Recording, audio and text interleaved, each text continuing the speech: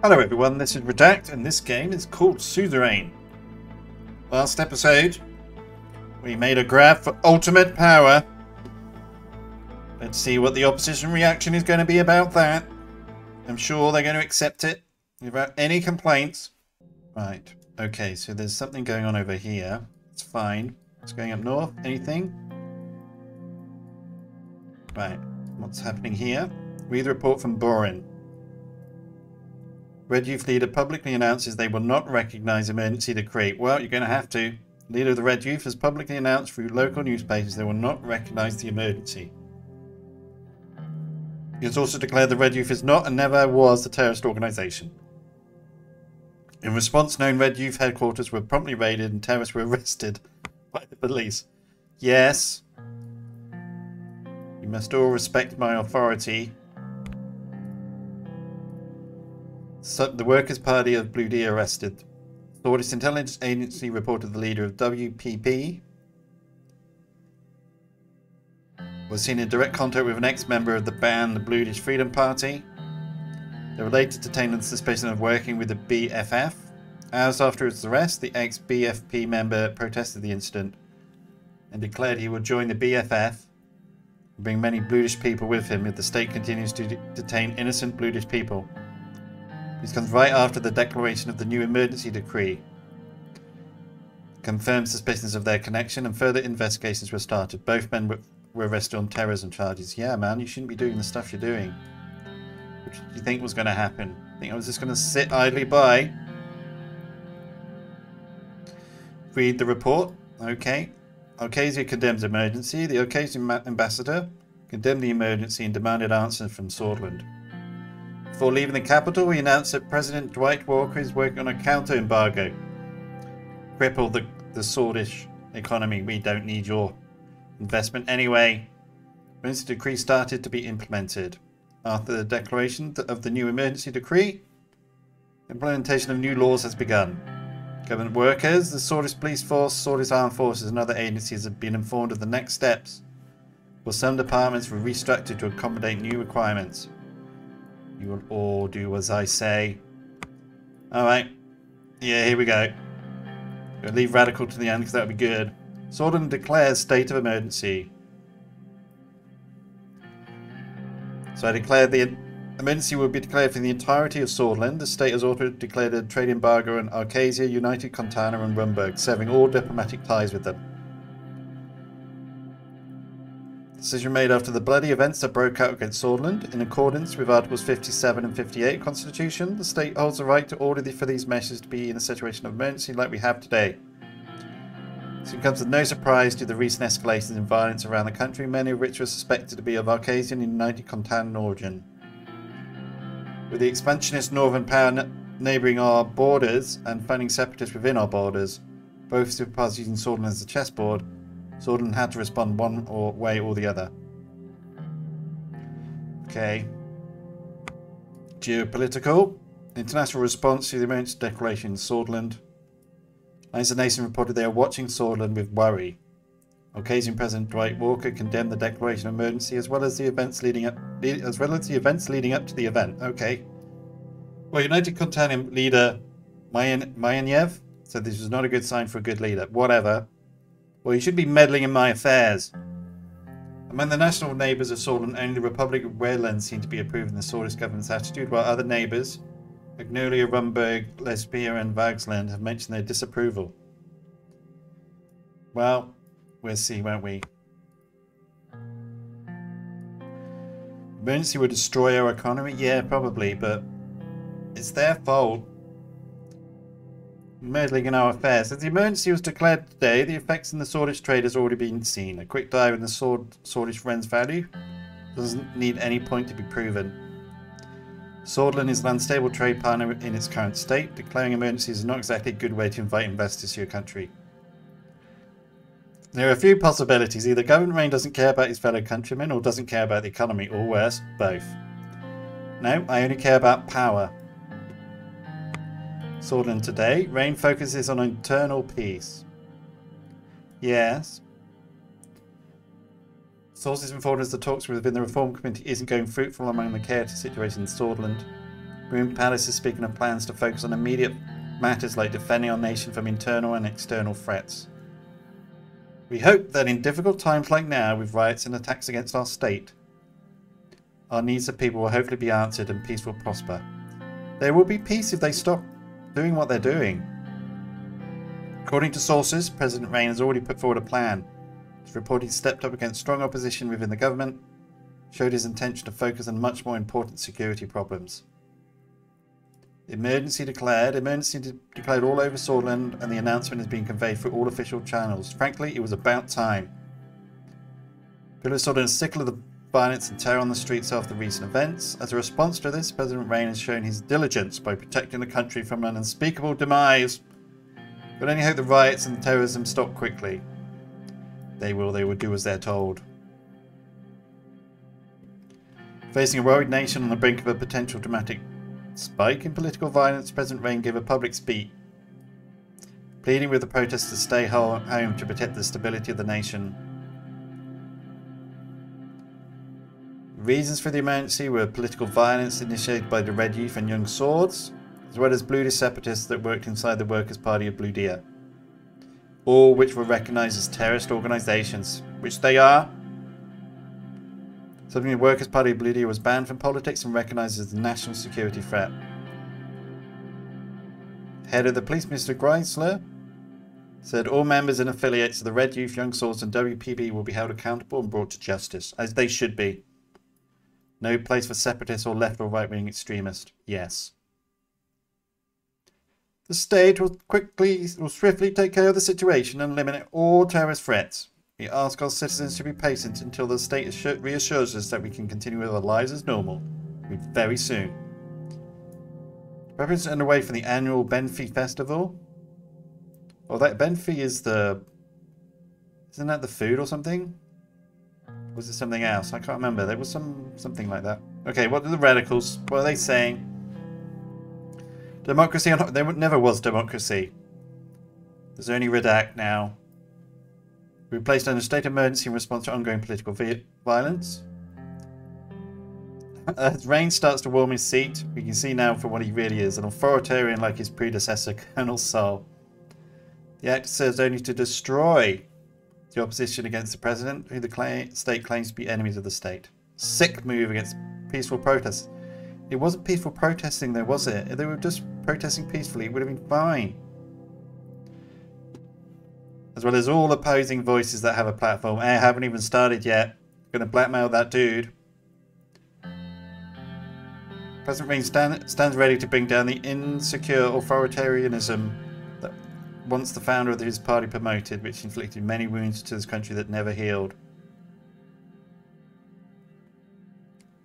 What? The party has now apparently seen the incoming threat to their rule with a decrease in their supporters and decided to finally take control with force. Whatever. And not as bad as I was expecting. Okay, so what happened in the journal? Uh, National, the... Yeah, I announced it. Okay. So what's going on with law and order? Media bias, judicial rivalry, Still have limited rights. Unfair electoral funding, court backlog, oppression. Yeah, yeah. Corruption. Enlarged police force, wide-ranging. Uh, prisons overcrowded. Yeah, nation. Yeah, we're going to sort all this out. Organized crime. We need. We were doing. I think has not decided on how to handle the increased immigration. I've not got to it yet. I'll get to it.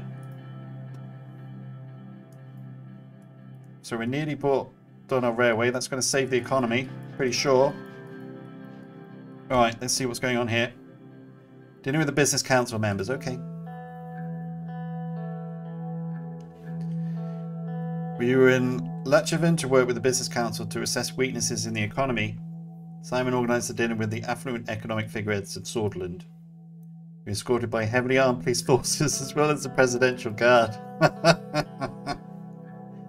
when we arrived, the, the streets were quiet and police forces were patrolling everywhere. The emergency was felt in the vacant city. Together with Walter Tusk, Edith Agnock, Mikhail Avon, and Simon Hall, Hall, we entered the renowned Esteria restaurant by the coast. Short blonde man whose embroidered pocket read manager greeted us and waved his hands in excitement as he told us how pleased he was to have us in his establishment. Beaming with pride, he led us to a private room and got us seated at a large table covered for the occasion with a maroon tablecloth.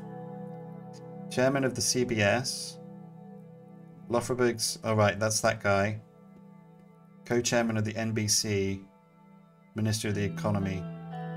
Okay. Who is this? Who's this? Economist and banker. So is the chair. Oh, right. So he's the Bank of Swordland, right? So she'll be on my side, hopefully. Well, she won't like what I've done, but anyway. He's a businessman. To Aglin's economic planning. Okay. He's an economist. Alright. Quickly served by a group of servers. Walter spoke as they started taking our orders. Who's Walter? That guy, right. I recommend the Lechovian salmon of this place, President. I know you're from Lachevin, but I bet you haven't tasted anything like that before. Should we just be a dick to him? I appreciate the advice, but I don't like salmon. Don't get me wrong, Mr. Tusk, but of course I've tasted this greatness many times here already. Hmm.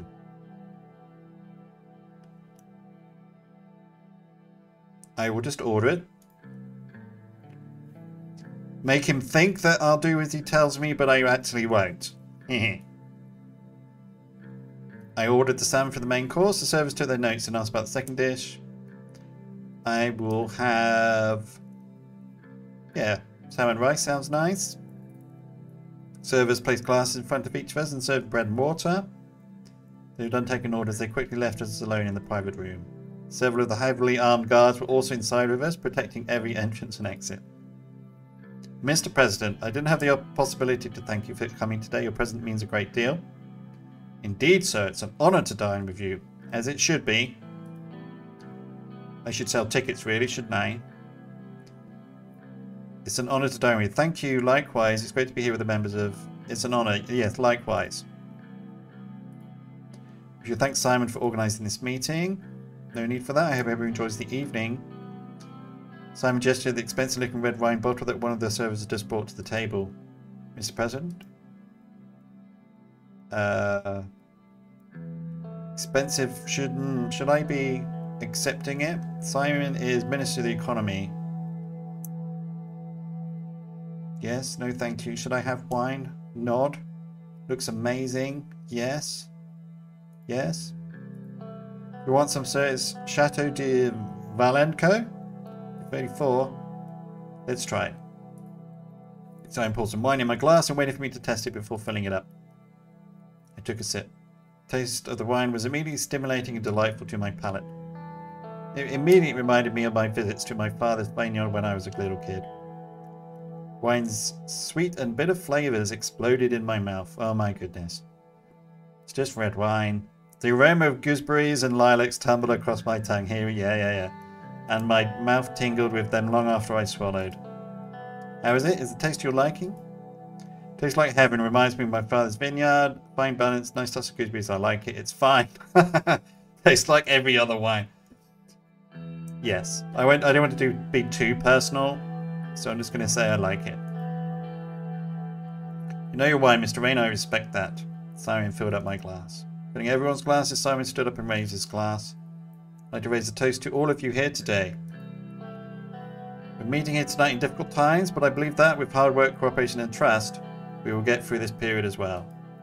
I'd like to thank Mr. Rayne again for his decisiveness in office, so we will get through this emergency period and come out stronger. Yes.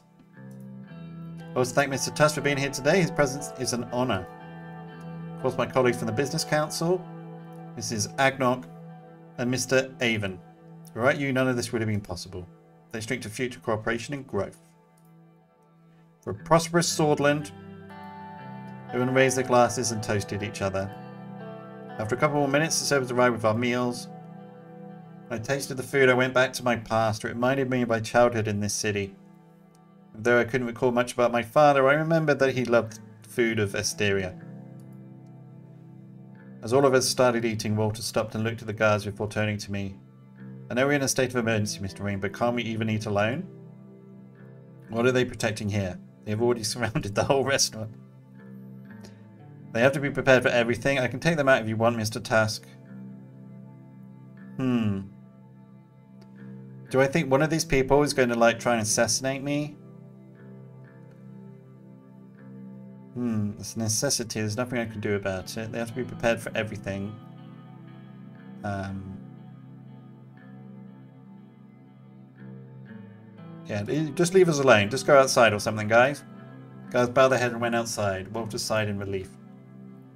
So how do you find the food of the best fine dining restaurant here in Lachevin, Mr. President? Not a big fan, but I admit it's very tasty. Fine food is like fine art, but this particular one is a masterpiece. It's okay. This can't get old, it's an experience. Not a big fan of fancy food. Yes, I'll say I'll be good. I'll be nice. I know exactly what you mean. Art is something else. It embodies so much about us and the world surrounding our lives. And food. There's an art of everything. The art of making money, food, wine, and love. Oh my goodness. How are these things going in the Maroon Palace? The pressure... making love. How are those things going? That's a very personal question. The pressure must be increased after you attended the funeral. Pressure was already high. Not much has changed. It did, but it was the right decision. I have to say the future is looking good. It's tough, but the new laws will fix it. It's the right decision. Of course, I didn't mean to criticize your decision. As we conversed with Mikhail, I heard Walter raise his voice in an apparent argument with Edith and Simon. We both stopped to listen. Arcasia knows the right way of doing business. Their approach to the world is real and raw. I prefer that cutthroat approach in comparison to the niceties. Well, I mean, it's a nice country to visit too. I've travelled there often in business trips. The attitude on all countries are nice to visit if you have the cash. Stay silent. Money does turn the world around. Travel is, is the least you can buy with it. Certainly not all. Yeah, stay silent. Don't really want to say anything. Mikhail joined in. Certainly depends on what you're looking for. Cultural tourism doesn't require a fancy hotel. Last time I went somewhere for that sort of thing, it was at university. Even then we had our wild time thanks to Conrath's connected entourage. Also, uh, Walter is taking us down the rabbit hole again. By the way, I saw that the construction of the railway has already started. I have concerns about the company. I hope they do a good job. Why do you have concerns? Why would you care?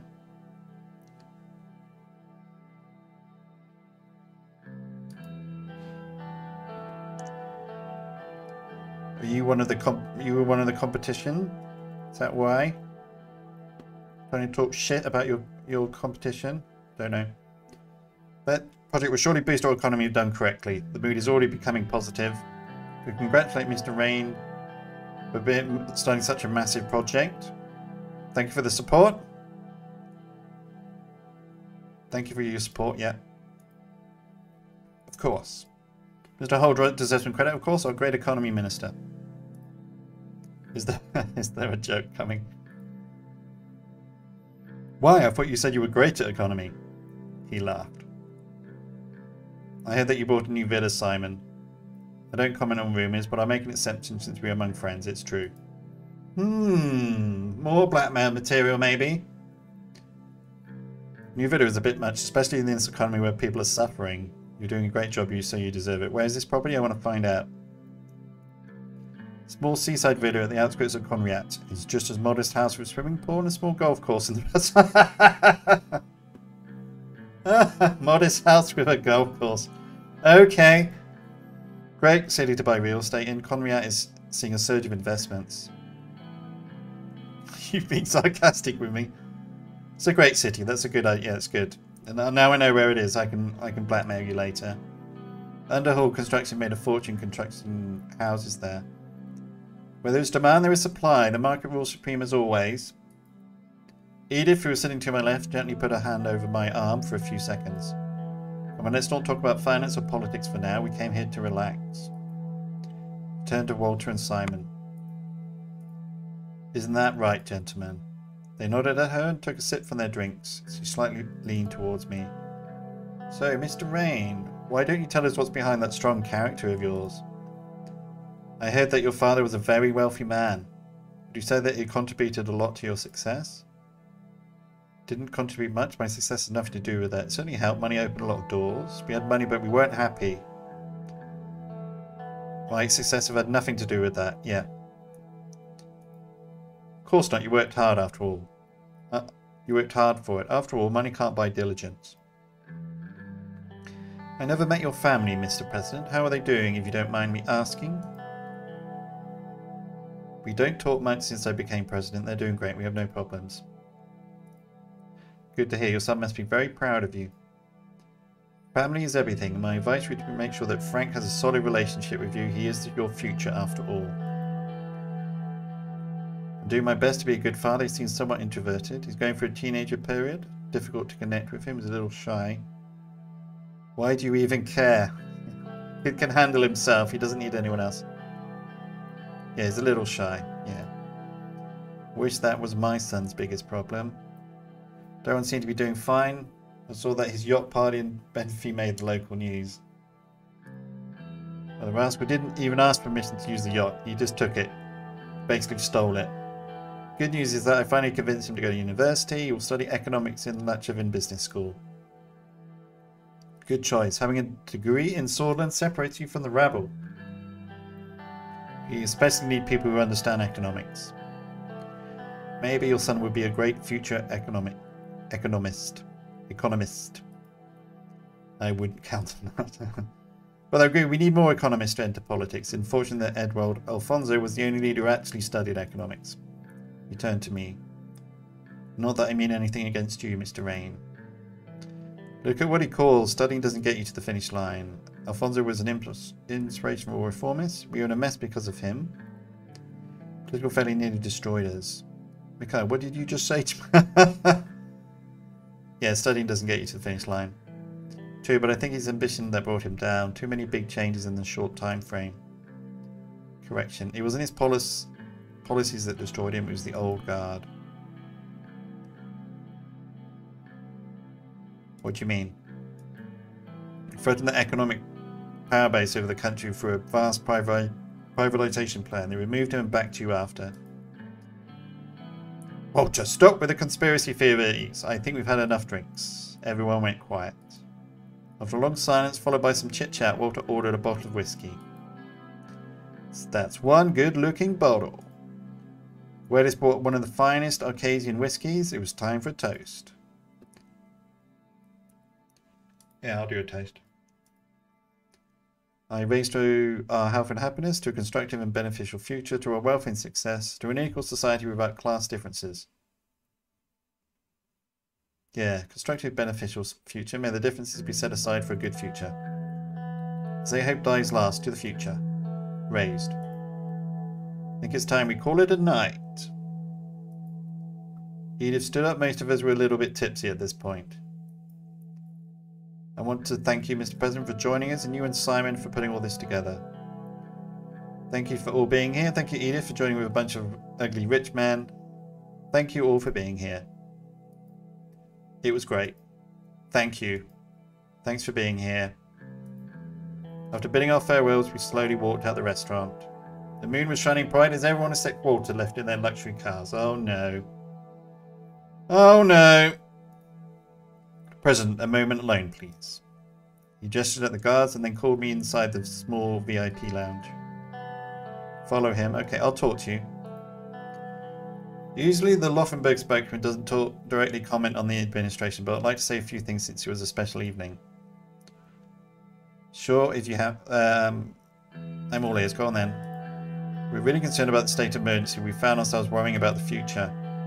We need stability for business to function. So if you want us on your side with our capital, there are a few requests on our end.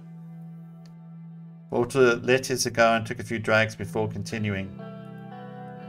Me and the group are disappointed in the economic direction that you took by promoting an inefficient planned economy.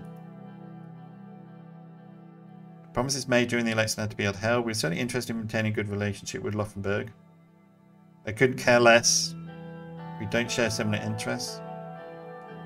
Yeah, we're interested in maintaining a good relationship. In that case, we can move towards a better future together. He looked me in the eye. We rejected our previous discreet offer to pick underhaul construction for the execution of the first mega infrastructure project. It's actually led to disappointment in the group. We're aware of the upcoming tax meeting and it would be a step in the right direction if private corporations would get a tax cut. To boost our economy with job correction. Yeah, yeah, yeah. Trickle down economics. It always works. The positive side of it would be our support in the administration throughout the entire term. I will give large private corporations a tax reduction. I will make tax decisions objectively. Can't promise you anything. Oh, let's not be hasty. The recession will end if Laufenberg is on your side, President. Why can't we all just be friends? Maybe we can. I'll see what I can do. Not promising anything. Excellent. Glad to hear this. Group wants a private corporation tax cut and privatization in healthcare and education. Well, we might do... I don't... I won't privatize healthcare.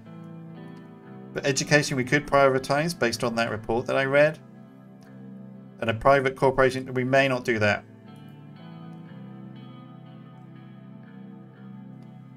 I have. I will give a private corporation tax cut. Uh, no. Sorry, not going to do that. That's a shame. I did offer you a peace branch. There was an awkward silence. Okay, I'm going to crush you then. Either way, President, we are here. Oh, we didn't even say Mr. President. Okay. We're here and always ready to work with you. Change your mind. Don't forget that. I will think about it, but not now.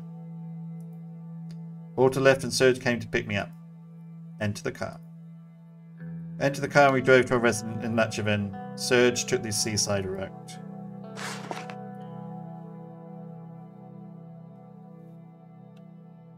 Right, so there's some news. Let's um let's read the news. Bill on Rights of Workers being drafted. Grand National Assembly of Sordland will vote on a bill on Thursday to protect workers' rights. It's the most ambitious pro-Labour legislation in decades. See, those, those oligarchs are not going to like this either. Which one USP representative dismissed as the worst bill in the Assembly. Oh dear. Workers' Protection Act and strong support from both the PFJB and the NFP, as well as Labour leaders. Well, we'll see whether that works out. Establishing minimum wage, setting guidelines on overtime work, safety and protection guidelines. Sends the rights of workers to all migrants, acknowledging the rights as workers. Hmm, not sure I want to do that. Is it legal for corporations to force workers to do unpaid overtime work? Hmm. Costs for firms may increase 50% if they have to treat the workers according to proposed laws. Despite the bill coming from the governing USP, it faces huge opposition inside the party.